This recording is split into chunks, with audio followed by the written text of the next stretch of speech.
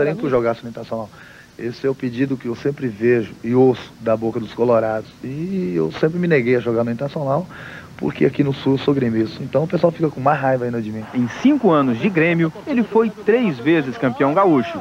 Ao longo dos anos, Renato se especializou na arte de enfurecer o mais sóbrio dos colorados. Eu acho ele uma galinhazinha, tia. olha, não tá com nada. Gostaria de ver o Internacional ganhar, ganhar do Flamengo para tirar aquela máscara que ele tem, né? Eu gosto de enfrentar o Internacional por causa disso.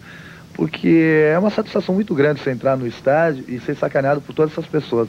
E uma satisfação ainda maior é no momento que eu faço um gol, um companheiro meu faz um gol e eu vou para a torcida internacional e manda esse caralho a boca. É divertido demais.